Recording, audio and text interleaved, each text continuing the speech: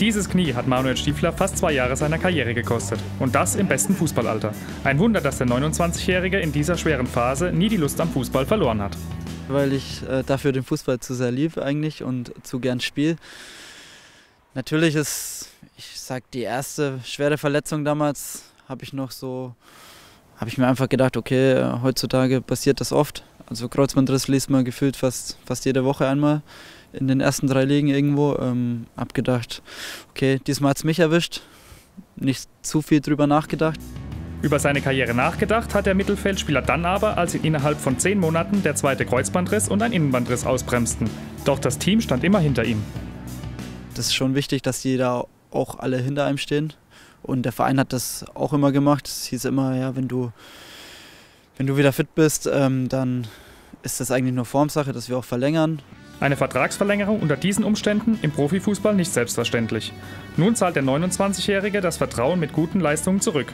Trainer Kenan Kotschak ist von Stiefler sowohl sportlich als auch menschlich überzeugt. Der Junge arbeitet gut, trainiert gut, ist geduldig und ungemein ein guter Typ, ein, ein absoluter Teamplayer.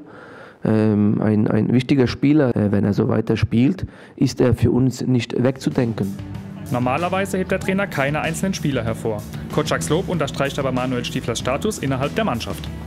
Durch die vielen Verletzungen, die er dann hatte, äh, war es natürlich schwer für ihn. Ähm, er war nicht so oft in der Kabine, war äh, weg von der Mannschaft, aber wie er zu uns dazugestoßen ist, war es nicht so, als wäre er jetzt ein neuer Spieler dann nach zwei Jahren, sondern ich glaube, er hat sich sehr, sehr, sehr wohl gefühlt. Ähm, die Mannschaft hat ihn wieder toll unterstützt, denke ich auch. Und äh, von daher denke ich schon, dass er sehr, sehr hohes Standing hat.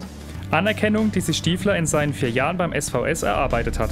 Der gebürtige Bayreuther zählt mittlerweile zu den dienstältesten Spielern in Sandhausen. Geht es nach ihm, soll noch ein paar Jährchen dazukommen. Ob das Knie halten wird, daran verschwendet Stiefler keine Gedanken mehr.